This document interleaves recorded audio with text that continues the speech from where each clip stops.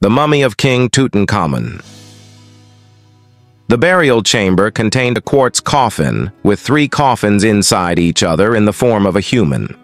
The smallest of them was made of pure gold and contained the mummy of King Tutankhamun. The quartz coffin almost fills the entire room, length 5.08 m, width 3.28 mm, height 2.75 mm, in the coffin are three coffins overlapping in the shape of a human and covered with gold sheets. The largest coffin is 224 centimeters long and made of cedar wood and covered with gold sheets. The middle coffin is decorated with gold sheets and studded with precious stones. The inner coffin was made of pure gold and inside it was the mummy. The golden coffin weighed 110 kilograms of gold, and on it was the golden mask of King Tutankhamun's face.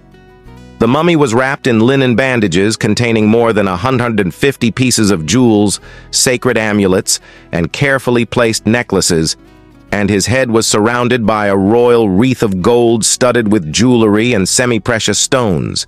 His fingers and toes were individually covered with simple gold sheaths, and on his feet he wore a pair of decorated sandals made of gold.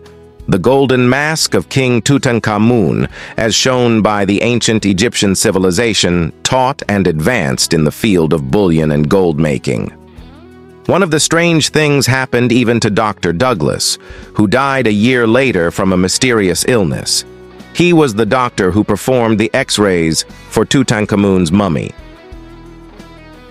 The total number of mysterious deaths reached 13 deaths from the research team in just four years, which raises questions.